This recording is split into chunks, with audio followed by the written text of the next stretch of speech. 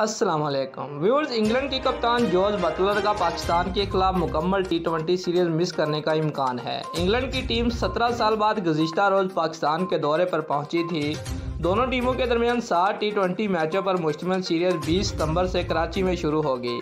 पहले चार मैचेस कराची में खेले जाएँगे, जबकि आखिरी तीन मैचेस लाहौर के कजाफी स्टेडियम में होंगे। व्यूअर्स, बरतानी मीडिया के मुताबिक जॉर्ज बटलर पंडली की इंजरी का शिकार हैं और उनके पाकिस्तान के खिलाफ मुकम्मल सीरीज़ खेलने का इम्कान नहीं है। बरतानवी मीडिया का कहना है कि जॉर्ज बटलर डॉक्टरों की हदायत के मुताबिक आहिस्ता आहिस्ता आगे बढ़ रहे हैं।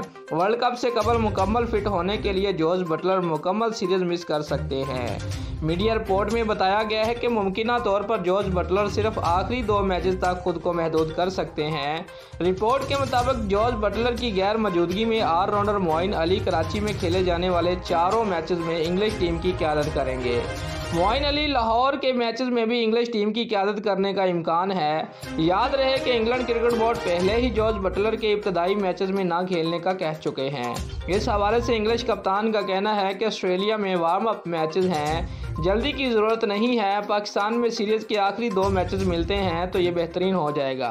बरतानवी मीडिया के मुताबिक जॉर्ज बटलर की पंडली की तकलीफ़ ज़्यादा नहीं है, लेकिन जल्दबाजी करने से दोबारा तकलीफ़ बढ़ने का खदशा है। व्यूअर्स, लास्ट में जॉर्ज बटलर का कहना था कि पाकिस्तान जैसी सिक्योरिटी मैंने आज तक दुनिया में कहीं नहीं देखी। दोस्तों, अगर आपको हमारी ये वीडियो अच्छी लगी है तो लाइक और कमेंट ज़रूर करें और हमारे चैनल को सब्सक्राइब करना मत भूलिए। शुक्रिया।